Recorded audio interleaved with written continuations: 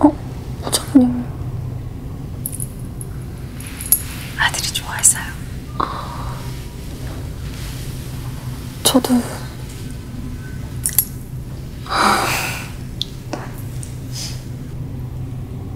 혹시 게임도 하세요?